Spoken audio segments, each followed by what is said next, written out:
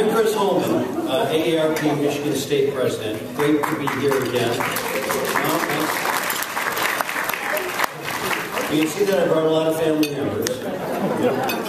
Uh, welcome to the kickoff session of the 2018 AARP College, a unique and extraordinary two-day event intended to enrich your volunteer experience. And you will be really enriched after the talent show. I'm just, I'm just saying. Very special welcome to our uh, friends from AARP Indiana. This is the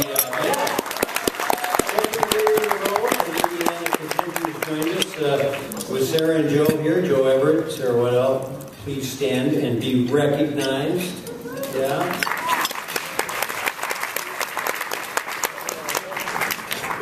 That's interesting because usually when I'm in public forum, uh, it's better if I'm not recognized. Also here is a very special guest who's been an AARP leader in Michigan and at the national level, Eric Schneider, our national AARP president. He's also a former state president here, as you all know, and he's the shoulders upon which this position has been elevated upon. We appreciate the great work you've done here and you're doing in Washington. He has a few words uh, for all of us this morning about what's happening on the banks of the Potomac, East Street, and elsewhere. So please, Eric, come to the podium.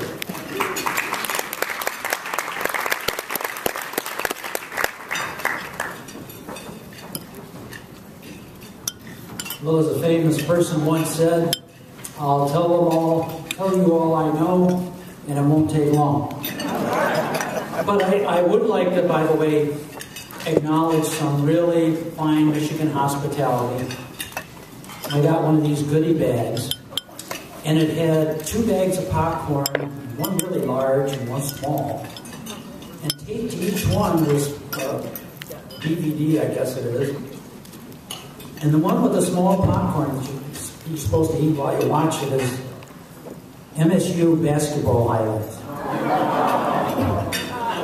The, the really big one was Michigan basketball highlights. So, so thank you for that. That is indeed food for thought. All right, enough, enough of my my uh, partisan I'll go back to being neutral, nonpartisan. Um, we have the Lobby Day activities next week, um, and it's one of those things where you could look at the glass, at least for us, as being either half full or half empty. Uh, on the one hand, we have scored what I think are some significant legislative victories in Washington that will literally impact millions upon millions of Americans, and particularly those who are in retirement years. Uh, as part of the tax package, it used to be long ago that if you spent more than $7,500 on medical expenses, you could take the overage as a tax deduction. Then Congress raised it to 10000 you had to spend, and then they were threatening to take away the deduction entirely. Well, thanks to a lot of good work done by AARP and others, we not only saved that tax deduction, but we rolled it back to the $7,500 level, where if you spend more than $7,500, uh, you can take a deduction. That, yeah. And it lasts for about two years, and so obviously we're going to have to be in there fighting uh, to extend that if possible and prove it. So that's one of the victories. The other, I think, impacts millions upon millions of Americans who get Part D uh, drug coverage under Medicare. And this year, as in past years, there's been a donut hole. And I think it's where if you spend more than $3,750 on drugs, you didn't get coverage under Part D until you spent 5000 So that um, gap there was covered entirely by you. Well, I am pleased to say we did get that gap eliminated starting next year. You can imagine uh, the benefit to people who had these terribly high medical costs in any event, and at least that donut hole is there. In the legislative scuffle, we got the uh, drug companies to step up for paying more of Part D coverage. I think that was a win. We extended some telehealth uh, program benefits under Medicare. Uh, and Congress did end up passing the RAISE Act, which is a requirement that, you know, there are many, many resources uh, that the federal government provides, but a lot of times you think they're in silos, they're not being coordinated. So Congress is required under the RAISE Act to really develop a coordinated long-term strategy for caregiving that hopefully will start to integrate these programs. And I just got back from Massachusetts, and you know there's certainly other states that have made progress of breaking down the silos and really taking what they've got and making it work together better. And hopefully we can do that on the uh, federal level. So those are things that AARP worked on and, accomplishments. And once again, I stress, these are benefits that will reach millions of Americans and in the case of the tax reduction and the donut hole, very clearly the millions of Americans with the highest medical costs.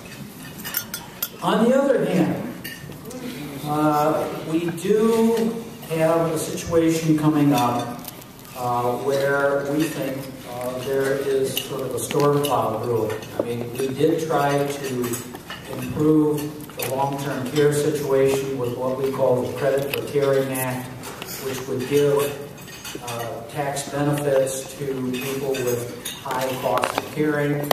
Uh, that didn't didn't get through.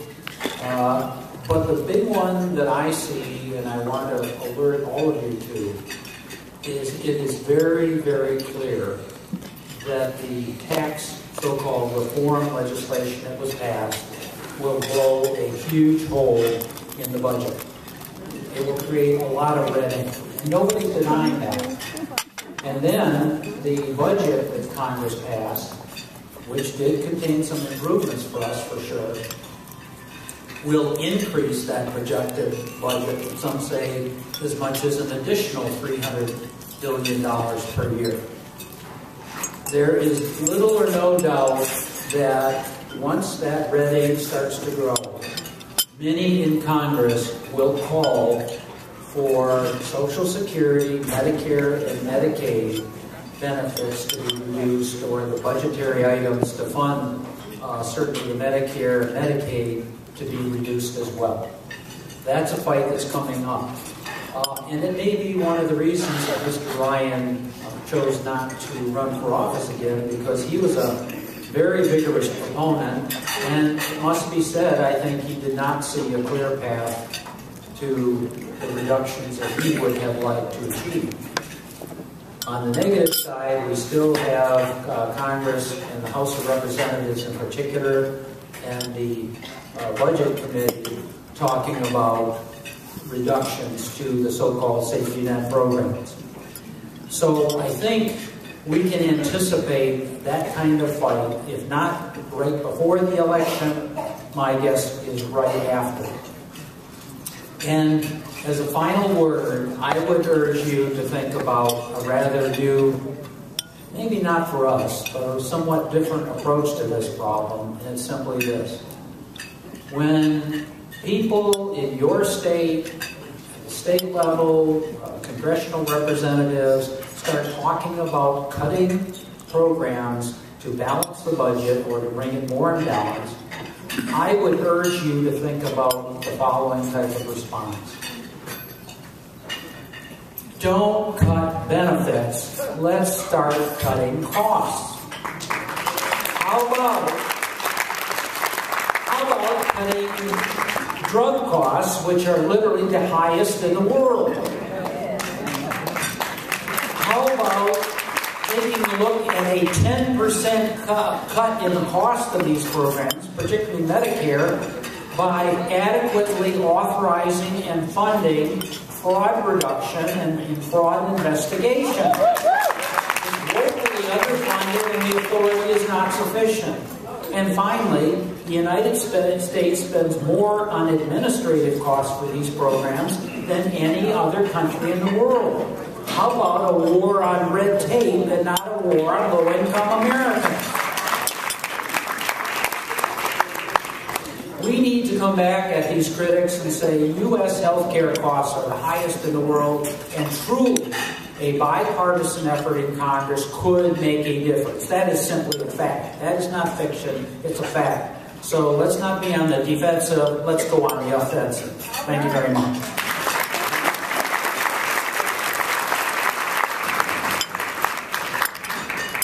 Eric, thank you so much. And I might also point out we get one of the lower returns on investment for those huge dollars spent, too. We don't have the best medical system in the world.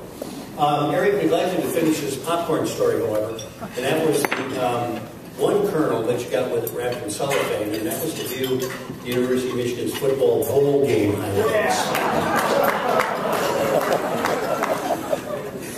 Uh, thanks so much, Eric. Seriously, for that, and, and, also for all you do for us here in the state and, uh, and in DC.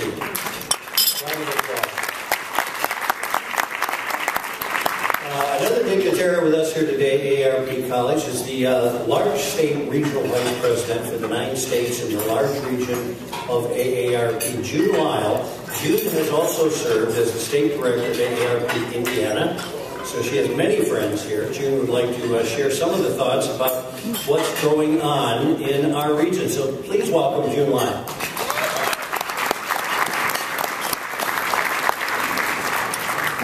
I don't think I've ever been referred to as a dignitary before. This, Chris. Um, it is a real pleasure um, to be here amongst friends um, from the AARP Michigan staff and volunteer team, from the AARP Indiana staff and volunteer team, and also um, our friends and colleagues from the national office. I am always excited to talk about uh, the work of the large region. And as many of you may be aware, the large region is an interesting configuration. Although Indiana and Michigan happen to share a state border, by and large, the large region is not designed on the basis of geographic proximity. We go all the way from New Jersey, we have Arizona, we have Georgia, and we have Washington State, and we have some awesome states uh, in the middle. Um, and so you may think, well, you know, we're kind of a motley crew, strange bedfellows, an interesting conglomeration of states. Uh, choose your metaphor. But each of those states has between 2 and 4 million people age 50 plus, has large metropolitan areas and significant rural areas, and also has significant multicultural populations. And I'm not biased at all, but I happen to think it is a phenomenal grouping of states um, that is doing a tremendous amount to drive the work of AARP um, at the community level in those nine states. Yes. And I'd like to give a special tip of the hat to Paula Cunningham, State Director here in Michigan, and her volunteer partner, Chris Holman. Sarah Waddle, State Director in Indiana, and her volunteer partner, Joe for the amazing job they continue to do in terms of leading excellence in both Michigan and in Indiana. And also to every volunteer in this room, because I know from having worked in a state office, that each and every one of you has played a key role in the successes of these state offices um, over the past year, many of you for many, many years before that. So we talk about success, and I just want to give you just a little bit of a taste of the success that we've experienced in the large region in 2017. So in 2017, three states in the large region passed laws to prevent the financial exploitation of older people, and Michigan was one of those states the large region passed measures at the city or county level that benefit older people. Indiana was one of those states. Of the nine states in the large region, 20, I'm sorry, that doesn't make sense. The nine states in the large region passed 20 laws that will improve the lives of family caregivers. Two of those wins came from Indiana, and one of those wins came from Michigan. In our, in our region in 2017, we had six communities that joined the AARP network of age-friendly cities. And again, Indiana and Michigan were each represented in that total number. The states in our had a total social media engagement rate of nearly 22%. And that is a wonky number, but basically what it means is that our states are doing a great job of tapping into the power of social media to be communicating with our members and the general public and sharing the work that we're doing in communities and on advocacy. And finally, the states in our region drove our members and activists to take over 83,000 actions in advocacy to influence their elected officials. That's a tremendous amount of public citizen power being generated. So that is an impressive set of accomplishments, and really it's just the tip of the iceberg, as many of you know, in terms of the work that was done in 2017. But I think it gives a little bit of a flavor. But we are AARP, and 2017, although it was an amazing year, is already so yesterday, and we are already so focused on the work that we are doing and moving forward on.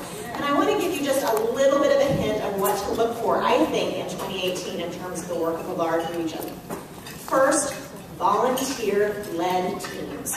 When I first came to AARP 15 years ago, we always loved, respected, valued, and counted on our volunteers. But there was a more of a philosophy then that staff were more at the head and the volunteers were more the hands and the feet doing the execution. Staff were more responsible for strategy and volunteers were more responsible for execution. Boy, has that changed. Yeah, right? Uh, I think we have realized, particularly as we have worked to do more and more in communities, the importance of having teams of volunteers in those communities that are on the ground doing the work and that are led by volunteer leaders. They're helping us not only understand what issues we should tackle and take on in those communities, but how we should be showing up. We have made great progress in this regard, but I think there's more can and should be done. Um, and I encourage each of us to focus on how we can do even better in building and supporting the volunteer-led teams in our key communities in 2018. Second area, local advocacy. Until a few years ago, AARP, we done a, did a ton at the Capitol, you know, at the, at the federal level on Capitol Hill. We did a lot in state legislatures, but we stayed way away from local advocacy. That is changing dramatically too. We've really grown to understand that it is important for AARP to show up in local advocacy in ways that impact people's lives. In Indiana and other, other states, we've supported public transit initiatives that have made it easier for people to be able to get around and to age in place. Seattle, also in the large region, recently passed a major funding increase to fund services for senior citizens. And we're actually even starting to get involved in certain places in local elections. This is a really exciting and growing area to watch, and I encourage you to be keeping an eye out for local advocacy issues that might be something that AARP might want to get involved in um, in your state. And third and finally, an area to watch in 2018, I think in the large region, is multicultural engagement. I am really excited about the work that is already happening in this area that happened in 2017 and that is underway in 2018. We're building strong relationships in African American communities, in Hispanic Latino communities. Um, we are building strong relationships among Asian Americans and Pacific Islanders. And I need to mention, we are also working with the Native American populations, with LGBTQ audiences, rural audiences, and veterans and military families. So we're really involved here not only in strictly what we would traditionally consider multicultural, but also what we call specialized audiences. Yeah, especially because our country will actually be majority minority in about 20 years, and some states of the large region are going to get to majority minority a lot quicker than that. This is absolutely essential um, to the future of AARP and our relevance as an organization. So continue to watch how you can help turn that dial in the right way for AARP. And I know there are some opportunities to have conversations around multicultural engagement uh, over the next couple of days. So let me close by saying again what a pleasure it is to be here, this opportunity to come together and connect is really amazing and unparalleled, especially during National Volunteer Week. I encourage you all to take advantage of it. I know that the chance that you all will have to share and to learn will help Michigan and Indiana and the large region and ARP as a whole be even stronger in 2018 than we were last year. Thank you so much.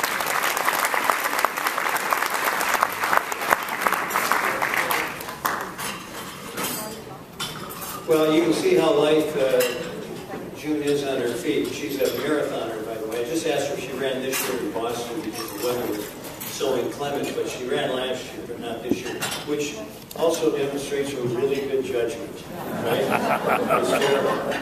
Matter of fact, along those lines, when I first ran into Joe uh, Everett from Indiana, uh, he confided to me that there was a, a light dusting of snow in Indiana yesterday. And so I did my typical Michigan snow this time of year. So don't give me up on that one? Uh, we want to welcome this morning, and June, thank you so much for not only your remarks and your update, but what you do for us in D.C. Uh, we want to welcome this morning Paula Cunningham, is uh, nearing the end of her third year as the state director of ARP of Michigan. She's the uh, one who kind of talked me into this, and I've been in her debt in, uh, oftentimes in my life, uh, especially my professional life, but I'm deeply in her debt for talking me into doing this gig. This is so rewarding and so wonderful to be with all of you. So, Paula, give us a little glimpse of uh, what has been happening in Michigan. Please welcome Paula.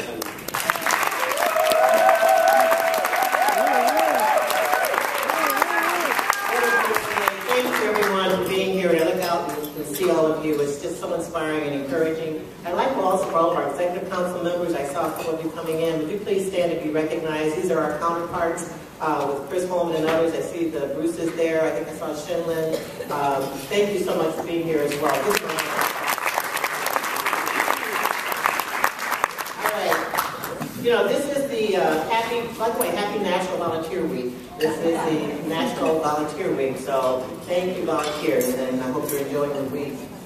You know, I often wonder, uh, I think of our, our dear founder, Dr. Uh, Ethel Percy Andrus, many, many times. I often wonder, uh, what would she have said? If there was any way for her to have known how much has been accomplished during the last 60 years. But she laid the foundation to support thousands of older adults. And every single day in our communities, you, we lay a similar foundation. Whether it's financial security, social security, caregiving, age-friendly communities, fraud watch, or any of the multitude of building blocks that are laid every single day, you have all helped us lay a foundation and create a path so that as people age, they can choose how they age, and they can also live their best life. We'd all agree that there are many different paths and journeys we can take to get us to the same destination. Some of you may remember Dorothy from The Wizard of Oz. They chose the path of the yellow brick road. It's, it's what? Dorothy had the opportunity to travel the world. What she really wanted to do was to return home. That was her choice. And home was much more appreciated as a result of her journey and all the people that helped home be a better place. As we all work together, or as we all work separately in our own communities, we continue to share a common bond, a common goal that helps us to improve our lives, but helps to connect all of us to the circle of life. Our founder and our original ARP visionary, Dr. Ethel Percy Andrus, perhaps she never thought about a moment like this, where there'd be 180 volunteers and staff in a room learning from each other for two days and figuring out ways to continuously, continuously improve and impact communities and to make home the place where we want it to be. Perhaps she never thought about home the way that we do. Last clip. Whenever you journey to our walking down the brick road, we end up friends and munchkins along the way. Whether we create a whole new path or we create a whole new circle of friends that strengthen our life, please remember that in every single scenario, it takes working together, and we can't get there without you. We are strong together, and regardless of how far we've come, regardless of how far we go, we must always remember the journey and how this journey started with this chicken coop and our dear founder, Dr. Ethel Percy Andrus. We need each of you to continue this journey with us. We cannot do this alone. There is so much that still needs to be done. And we want people to be able to have choices about their life, choices about their home, and choices about the journey that takes them there. Appreciate you, and let's make sure that this world is a better world than the world that we found when we first started. Thank you very much.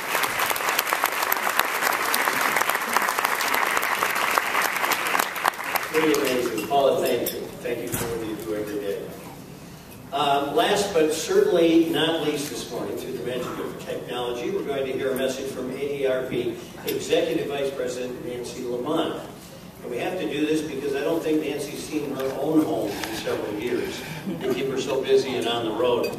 She's the organization's Chief Advocacy and uh, Engagement Officer. She oversees AARP's Community, State, and National Affairs Group with the responsibility for government affairs and legislative campaigns for AARP, who is widely seen as the most powerful advocacy organization in the country.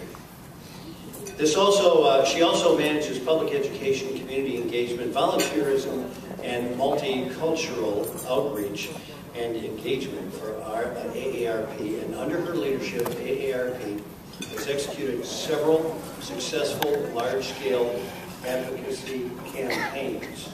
She also put together the book, Where We Live. And if you haven't broken the cover on that, you should. It's fascinating research and uh, really eye-opening. Nancy's going to join us via Skype today, and we'll uh, field questions from the audience following her remarks. So if you have a question for Nancy, please print it uh, on, a, on a card and uh, we will collect those cards, put it on your table, we'll collect those cards, and then I'll ask them on your behalf. So, uh, Nancy McLeod, how are we doing? These, these are those moments where you gasp because technology is almost as obedient as our children.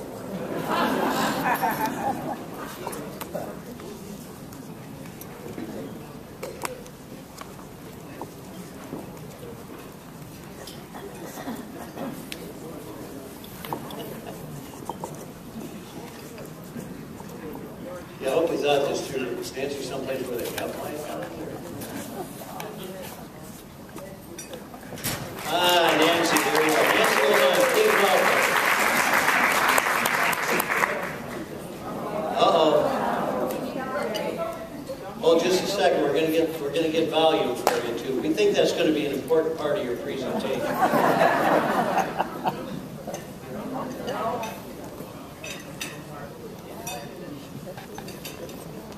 All right.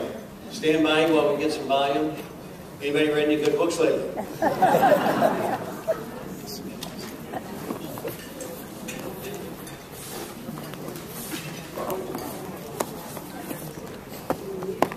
So if you have any questions, I'll do my best to answer them for Nancy.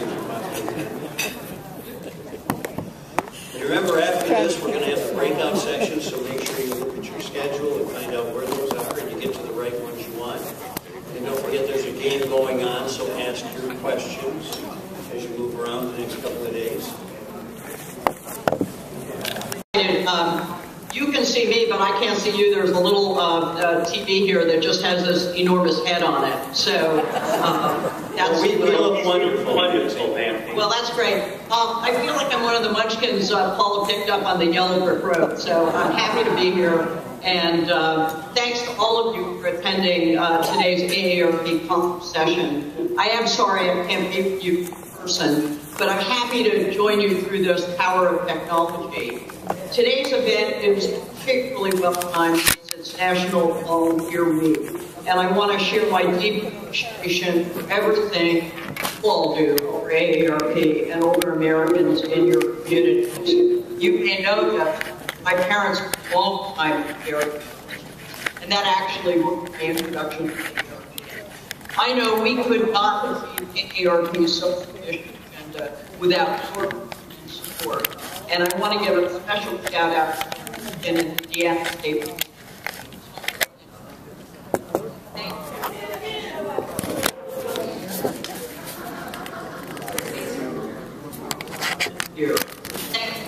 Allows advanced practitioners to sign scope of treatment.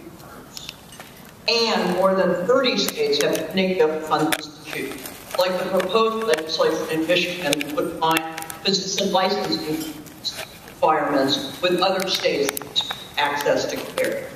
So we expect more in the next couple of months.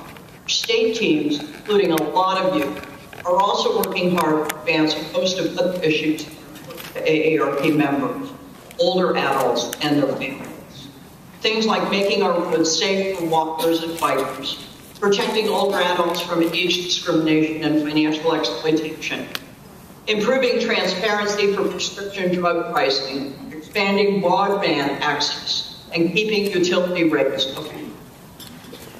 Now, at the federal level, we successfully perfected a number of critical programs in the spending bill the President signed into law last month.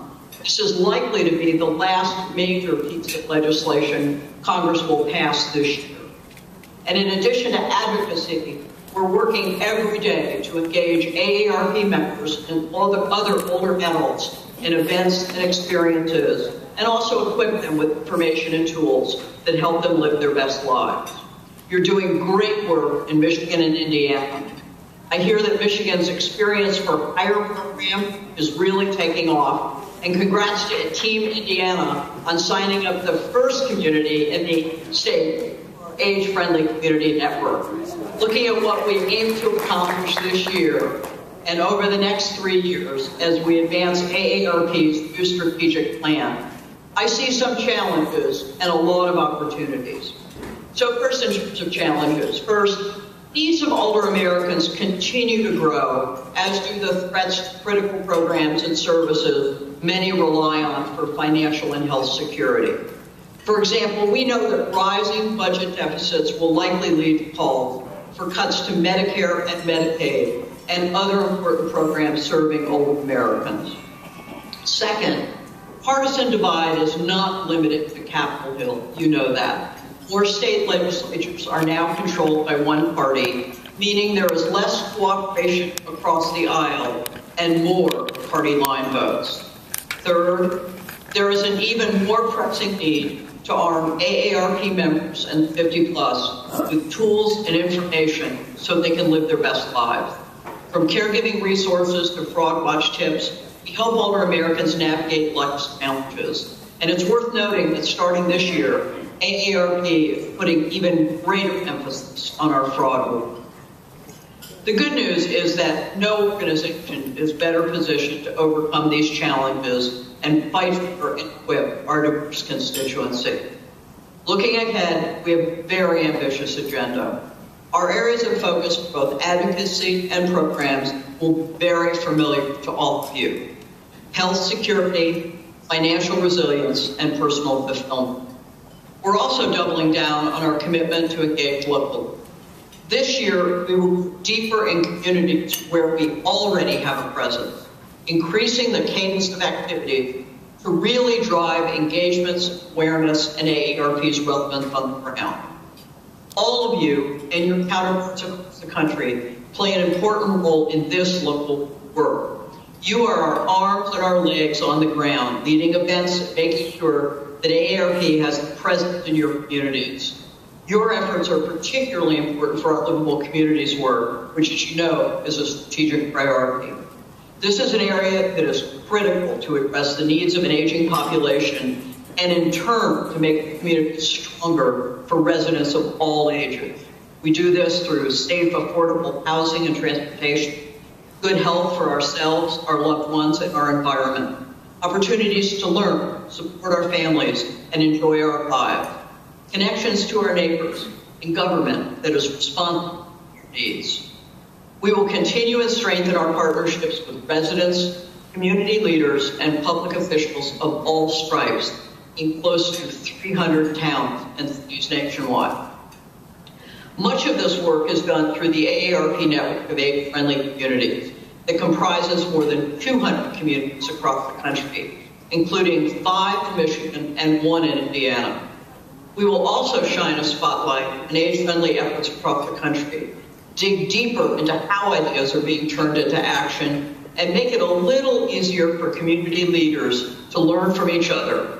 we're working on the third edition of our Where We Live book that will highlight more than 100 examples of ways communities are becoming more age-friendly and harnessing the positive contributions of their older residents. And yes, I checked. Your incredible work in Flint is included, as our transportation project in Indianapolis and Cary. We've also launched the second year of our Community Challenge Grant program to help communities take action on short-term projects. Last year, AARP provided $785,000 to 91 winning projects, including signage on a local walking trail in Kokomo, Indiana, bicycle stands in Bessemer, Michigan, and transforming an alley into a new community gathering space in Wayne, Michigan. This year, our goal is to distribute $1 million. The grant application process is underway and open until May 16th. So if you know of a nonprofit or a local government that can use some funding for a quick action project, please talk to Paula or Sarah about getting them an application. Finally, we're going to be doing a big voter education and engagement push this year. It's a year divisible by 50. Upcoming congressional and gubernatorial elections are a tremendous opportunity to highlight the power of the older voters at the polls, as well as to elevate the issues that are important to them. If historical trends hold, we know that older voters will be an important and perhaps decisive segment of the 2018 electorate. Since 2006, voters aged 45 and up have made up more than 60% of the electorate in midterm elections reaching nearly 70% in 2014. As always, our approach will be strictly nonpartisan. We will focus on educating our members about key issues, making sure they turn out in force, and influencing the public narrative about older voters in this year's election. Our campaign team is putting the finishing touches on our plans, and you'll see them soon. There'll be more to come from them in short order. So that's a high-level look at what we're going to do this year. And now I want to talk just a little bit about the overarching framework for how we do what we do. This will sound familiar to many of you who were on the volunteer teletown call last week. It's our transition from national to nationwide. We need to approach our work as a collective network and a collaborative network of state-based teams and national office staff that shares information and leverages expertise up, down, and across the organization. Instead of operating solely as a top-down fashion, promoting a one-size-fits-all national agenda, the kind that usually ends up being one-size-fits-none. The goal is to deliver advocacy and programs that better reflect the needs and concerns of local audiences so the 50 plus feel a more authentic connection to AARP as a local organization, and policymakers see us as their voice of their constituents. Local relevance is critical to the future of AARP. Remember that, uh, that we have a full afternoon of breakout education and outreach uh, sessions covering a wide variety of topics, issues, and uh, missions, and you should have a schedule of your, uh, your workshops with you. And then tonight, please join us for our Shining Star Gala. Uh, there will be a uh, there will be a strolling dinner. I'm laughing because I'm thinking about the talent show. Sorry. Oh, that's a good point. It is a variety show. Definitely not a talent show. There will be a uh, strolling dinner followed by our Volunteer Excellence Awards and a volunteer-led variety show. The doors open at 5.45 and there will be community group photos in the back of the dining room with Grand Rapids at 5.45, Lansing at 6, and Jackson at 6.50 and 17, and all the accomplishments that we had as a team. Let's give a round of applause to uh, Andrea Palmer. Stand up, Andrea.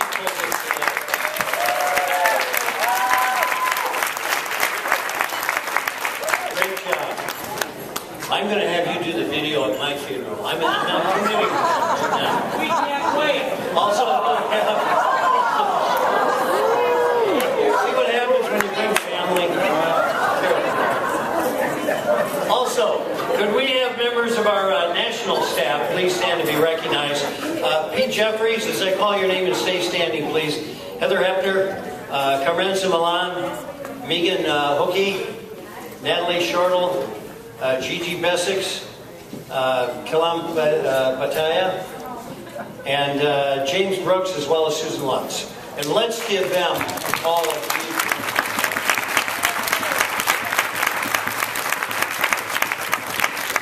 They can't even fathom the amount of work they do in D.C., which, as you know, is not the most easy environment to work in these days.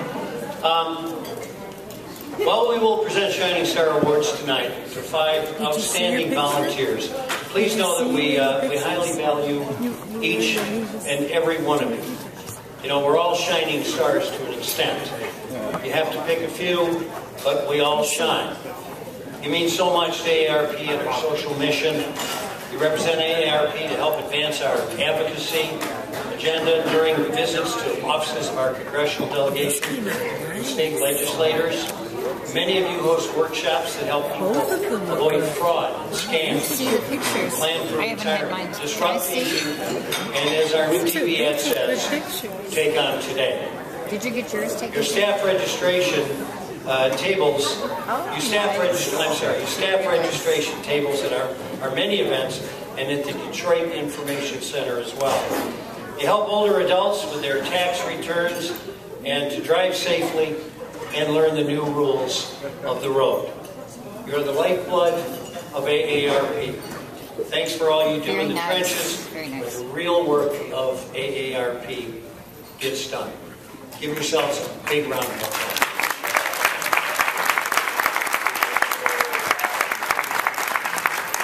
Next on our program is uh, Megan Hookie. She's Vice President of Volunteerism and Service uh, to deliver a message on what volunteers truly mean to AARP, its work, and its mission. Please welcome Megan.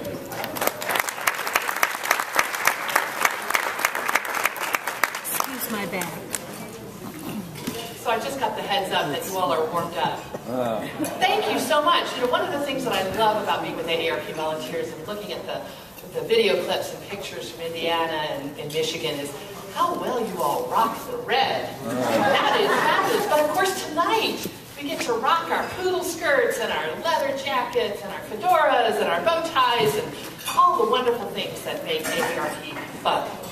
And it is clear that AARP could not do its work without our volunteers.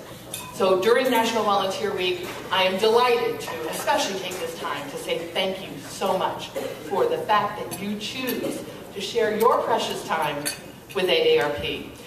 I was thinking about this set of remarks, and you know, I guess I have to put on my little cat uh, glasses here. Kathy knows I can't see a thing with it. Um, one of the things that I really value is the fact that somehow we find one another. And pretty amazing thing. In today's world with so much going on, that you and we as staff and volunteers, and sometimes you can't tell the difference in who's who, which is the best sign that I like, we're finding that we're finding, finding one another. And that's something that really harkens back to our founding days. With Dr. Andrus, she found a teacher in need and she responded. And you, similarly, are helping to make sure that we're doing work that oftentimes we don't see all of those who it touches. We don't know who benefits from all of our work, but we do know that because of your work, we are able to look out across our communities. We're able to speak out in our communities. We're able to reach out. And that's because of you. That's because, again, you have chosen to give your time and talents and that breadth of life experience and expertise that makes us stronger. Our action depends on our ability to have that ability to connect with people. And we don't have capacity without our volunteers. You bring those skills, that energy, passion that lights my fire every day, but also excites others. When people start talking to you, I'm sure they say, I didn't know that AARP did that. You're doing what? Wow, you look like you're having an awful lot of fun. And that's really a nice part of AARP. It's what you help bring, that spark that we need every day. You also bring what's known as social capital. That's that Rolodex of contacts, that set of friends, the people that you know, the connections that you have. so that we can be even more effective as we reach out to communities across the country. You're authentic, you're creative, you're credible, and you're a lot of fun to be around. Thank you very much, and let's keep on our work, and please know that as we move forward in 2018 and think back of 1958 when Dr. Andrus founded AARP, and she was looking to you. She was looking to that army of useful citizens, those people who are willing to step up and work with AARP on these immense needs in our country, but also the tremendous opportunity that working with you we can continue to address. So thank you very much. Have a fun evening.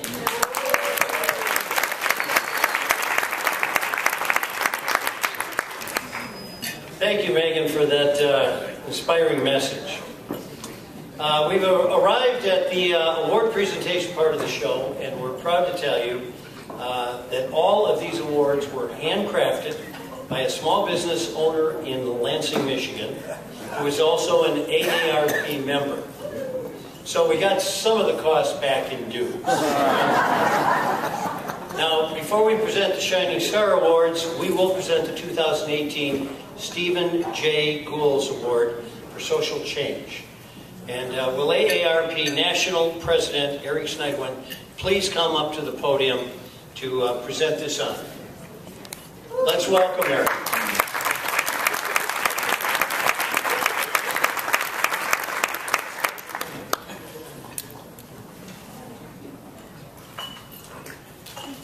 Steve Gools was a close friend of mine.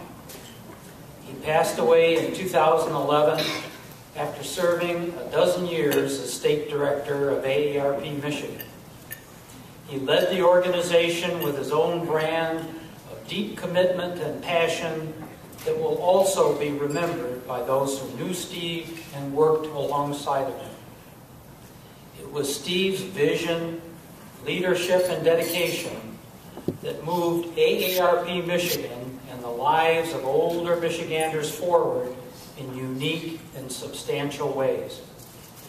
This award is presented in honor and remembrance of this champion older adults.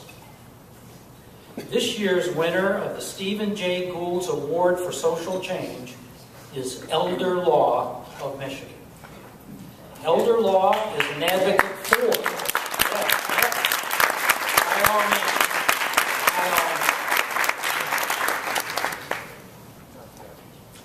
Elder law is an advocate for and a counselor to older Michiganders in so many ways. Their 24-member staff and volunteers provide legal counseling, professional services, and pension and benefits access counseling to countless number of Michigan's older adults. They have a legal hotline for Michigan seniors, a housing rights center, and they're connected to a National Center for Elder Rights Advocacy. Each year, they recover millions of dollars in lost pension benefits and help to prevent home foreclosures. Will Keith Morris, President and CEO of Elder Law of Michigan, please come up front to accept the 2018 Stephen J. Gools social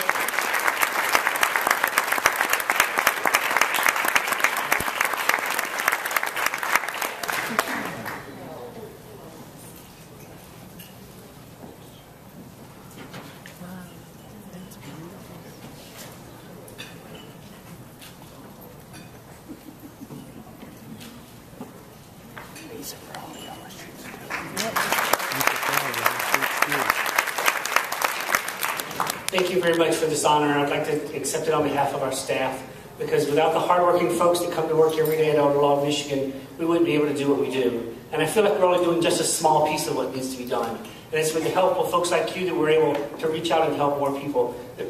Some of you may be volunteers in our My Cafe sites in the community. Some of you have volunteered on our hotline over the years. You know, back when I first started Elder Law, we, and we got our new offices, we had, a, we had something called a reverse boiler room, um, where we, we had volunteers, seniors come in and call other seniors and warn them about fraud. And that was my first you know, real exposure to AARP. And it's been a wonderful partnership ever since. And so on behalf of my staff and the people that we help every year, thank you so much for this honor. And I wish I could honor you for all the work that you're doing every day, too. Thank you.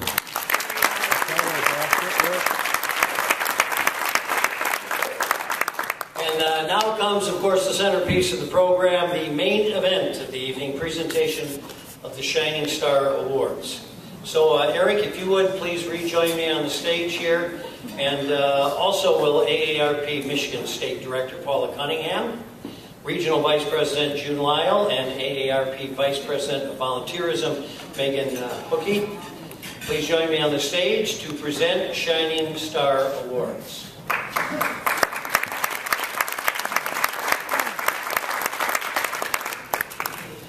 And to come out and present the first award, Kim Bishop. Kim, would you join me on the stage?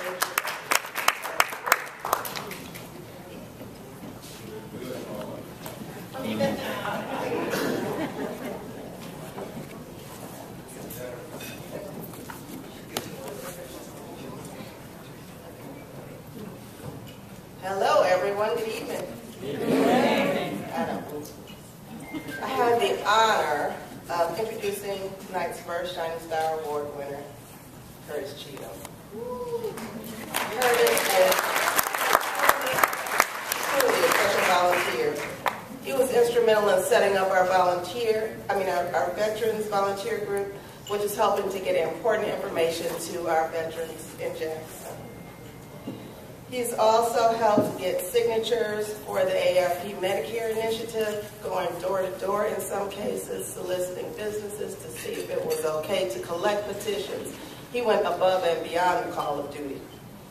He canvassed neighborhoods in Flint with us um, to help get signatures for water pipe replacement, and he has made connections with us, for us, in the faith-based community in Jackson and it's not his church that he did outreach to. So that's extra special. One nominator said of Curtis, he's a tireless volunteer and always gets people with a caring, greets people with a caring smile. He has a love for what he does and therefore shines a light on the things that he does. Another said, Curtis is always so positive and willing to lend a hand. When others have suggestions, Curtis steps up to take action. Please give Curtis Cheatham a hand as he comes forward to receive his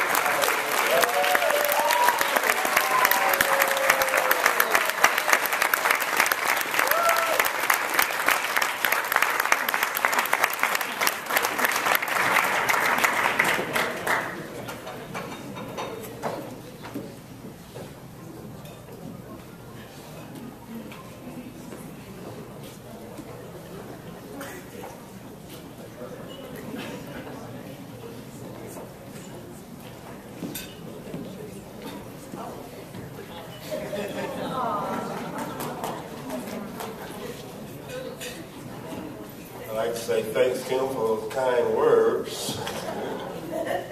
But uh, being a volunteer for AARP for me is, is very important to me because of what AARP does. When I first joined, I didn't have a clue. but once I got started and started learning more and more about AARP, the more it became important to me personally. And I would like to thank those that nominated me for this award. And I will keep doing what I can do to get the word out for the AARP. Thank you.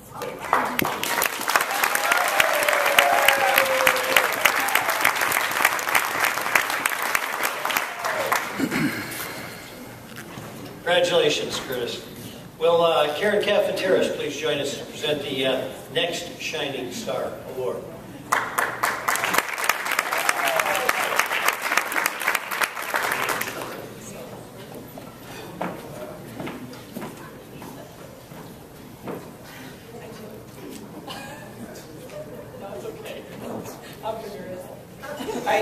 anybody who knows me, I can't, I can't see a thing uh, unless I have my glasses. I would like to ask William Harris to come up on stage.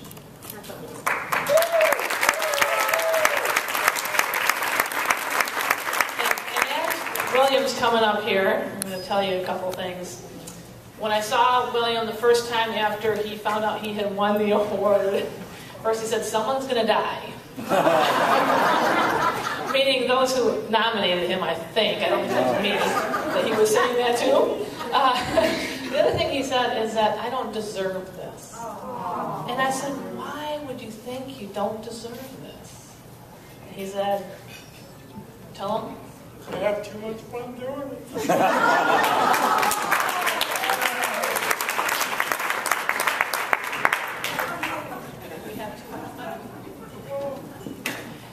So William Harris is one of the outstanding volunteers on the Lansing volunteer team.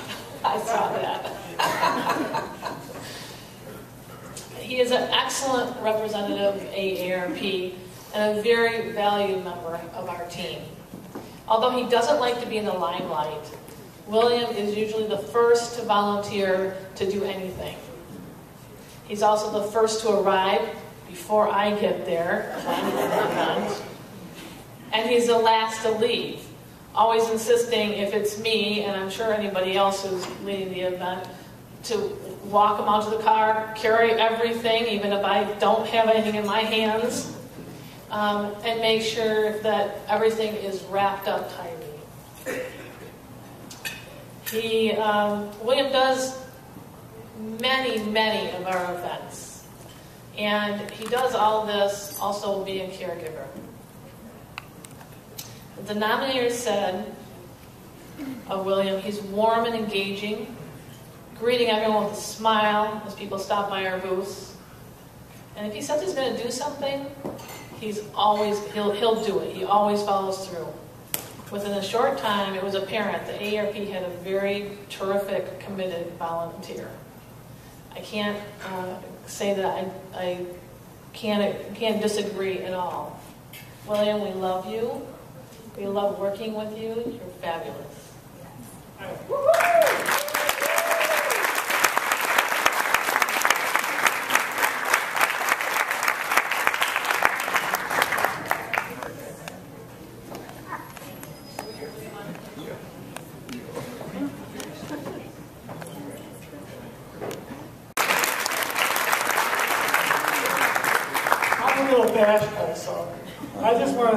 Sandra, my partner in crime at ARP, and everybody in Lansing that I work with is super. That's, it's the most fun thing I've ever done in my life, and I just enjoy being with the people that I work with. Thank you.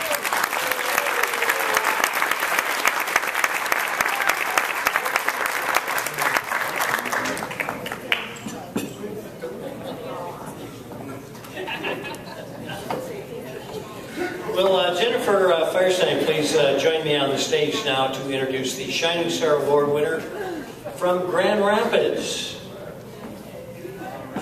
welcome, Jennifer.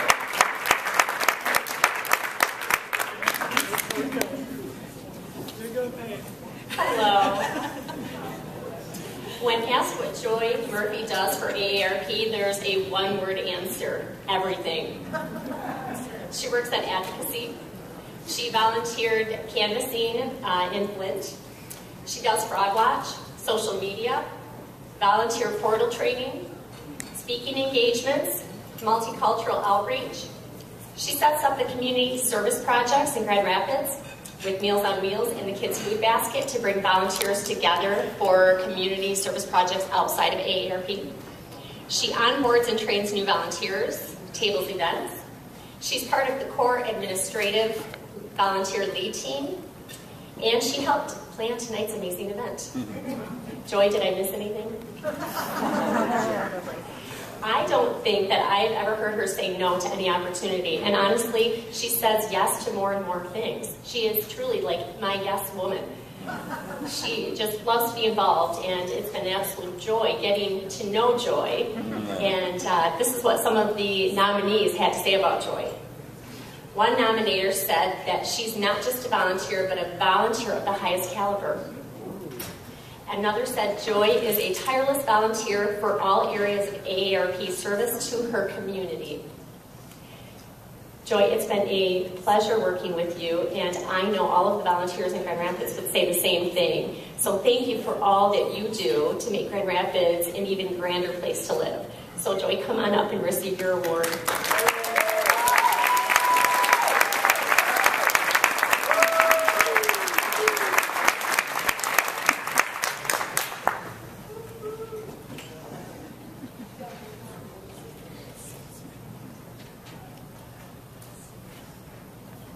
Thank you. I'm, I'm, I'm blown away and humbled by this wonderful recognition and want to share it with my whole team in Grand Rapids. I do have a small confession to make. Um, I haven't always been a huge fan of AARP. When Mike tur- turned 50 and he got his AARP card, I threw it back at him and said, I'm not old. I'm not going to take one of those. but I kind of think that maybe all of us were there at one point in time. And um, I, I very quickly got used to being part of that. And then when I retired, unint- like on a whim, which probably isn't the best way to do it, I um, uh, was at, at a loss as to what to do with my time and where to find my purpose. And fortunately, I got an email and went to a, a team meeting, and Jennifer and the rest of the Grand Rapids team, well, I obviously was hooked. So thank you, thank you for all, to all of all of the organization and all of my great friends in Grand Rapids. And um, yeah, this is this is an awesome place to be. Thank you so much.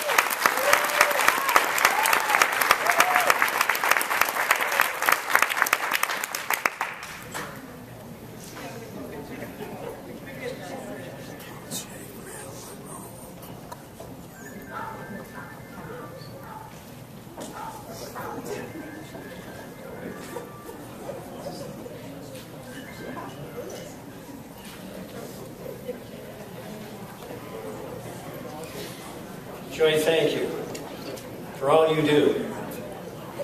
And that 50 mailing is called our youth movement. Two years we're going to be sending them to graduating seniors. Uh, will, will Kimberly Bishop join me up here again to give out the next two awards? Um, Lisa, Lisa Whitmore Davis was supposed to give out these awards, but uh, if you would put her in your prayers, she's dealing with some uh, health issues and some care in the caregiving realm. So uh, it would be helpful for all the support. But to give out the next two, please welcome again Kim Bishop.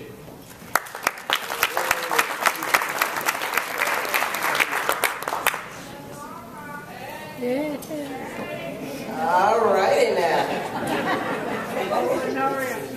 When I found out that Lisa wasn't able to make it, I was very happy to do these two um, awards because both of these ladies helped us in Flint die hard. So I'd like to start uh, with Lenoria Warmack.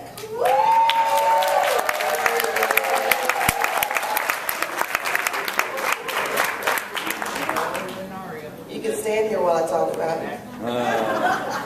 Watch and financial security presentations.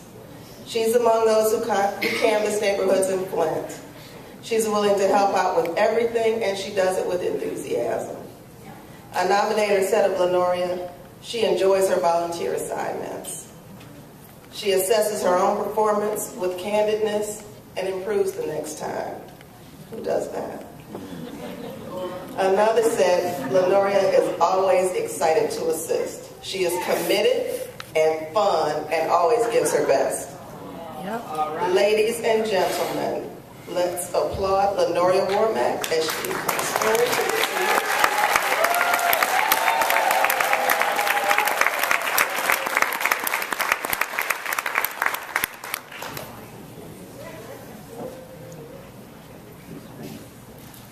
First, I- I'd like to say thank you for, for this award and thank you everyone.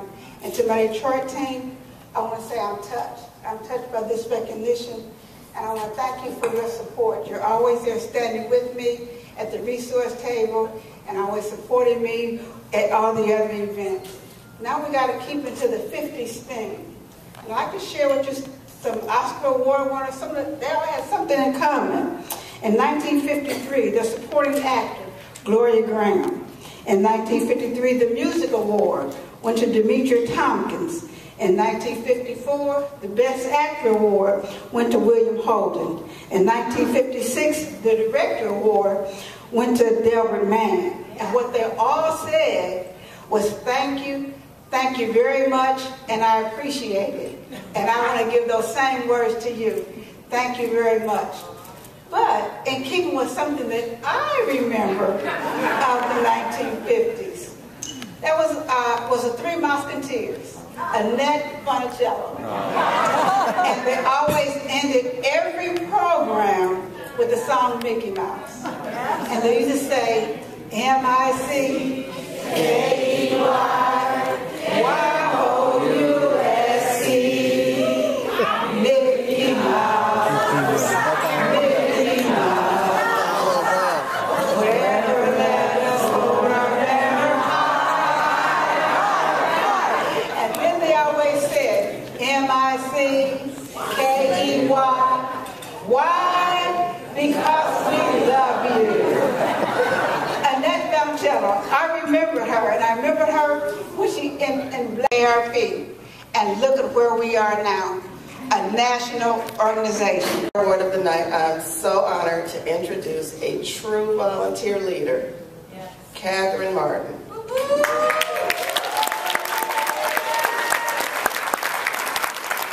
Catherine is active in so many areas, including advocacy, which is why I was going to have to arm wrestle Lisa. Community outreach, and she's a member and leader of AARP Southfield chapter. She's an excellent presenter. She stays up to date on AARP's state and national legislative issues and priorities and takes the information back to chapter members.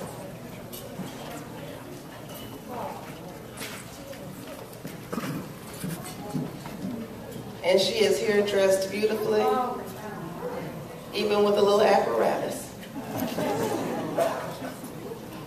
She has helped, she helped us with our door-to-door campaign in Flint, and you saw her on the video. And she's led the Southfield chapter's presence at the senior day at the Detroit Zoo. One nominator said of Catherine, she's an effective leader who serves AARP in a dual role. She, she serves by showing her love, her dedication, and hard work, and she is effective because she knows the community so well. Please, everyone, let's give Catherine Martin love as she joins us to accept a well-deserved Star Award.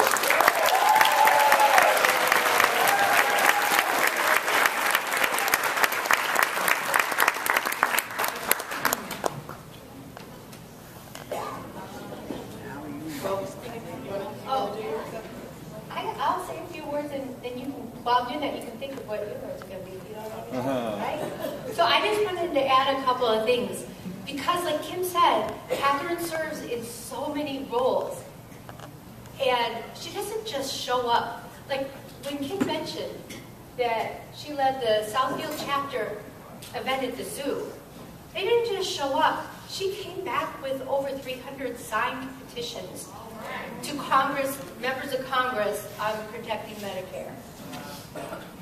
And then another thing I just wanted to note, when we look at the nominees' applications, and what are the words that are used to describe somebody? Because the application asks you to use you know, three words, right? The words that come up on Catherine, and this is so true, inspiring, intelligent, hardworking, dedicated. This is why, as an advocacy volunteer, I am so happy to call on. I am so honored to be here tonight to accept this award. From the moment that I became a volunteer, I knew that this was something that I wanted to do. Just opening the